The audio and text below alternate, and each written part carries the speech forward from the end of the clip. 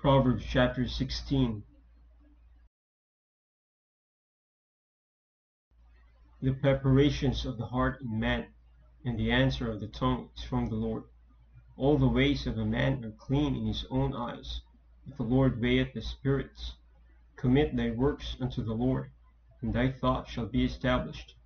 The Lord hath made all things for himself, yea, even the wicked for a day of evil.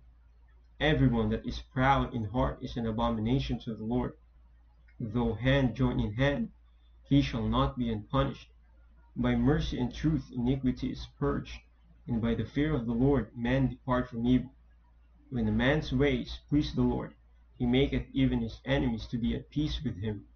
Better is a little with righteousness than great revenues without right. A man's heart deviseth his way, but the Lord directeth his steps. Divine sentence is in the lips of the king, his mouth transgresseth not in judgment.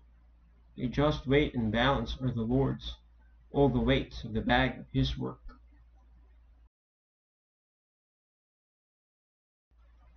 It is an abomination to kings to commit wickedness, for the throne is established by righteousness.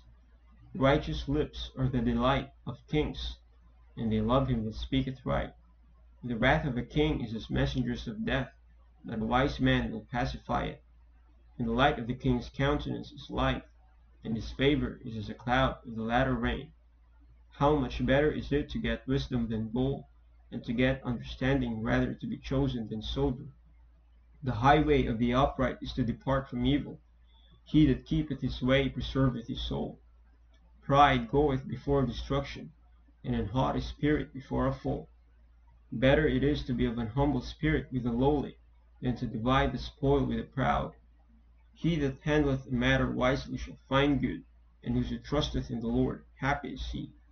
The wise in heart shall be called prudent, and the sweetness of the lips increaseth learning. Understanding is a wellspring of life unto him that hath it, but the instruction of fools is folly.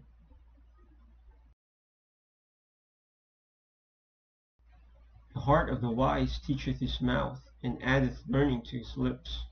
Pleasant words are as an honeycomb, sweet to the soul, and health to the bones. There is a way that seemeth right unto a man, but the end thereof are the ways of death. He that laboureth laboureth for himself, for his mouth graveth it of him. An ungodly man diggeth up evil, and in his lips there is a burning fire. A froward man soweth strife, and a whisperer separateth chief friends.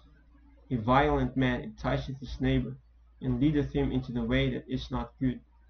He shutteth his eyes to devise forward things. Moving his lips, he bringeth evil to pass. The hoary head is a crown of glory, if it be found in the way of righteousness. He that is slow to anger is better than the mighty, and he that ruleth his spirit than he that taketh a city. The lot is cast into the lap, but the whole disposing thereof is of the Lord.